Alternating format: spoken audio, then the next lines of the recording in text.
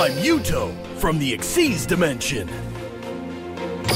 Time for combat.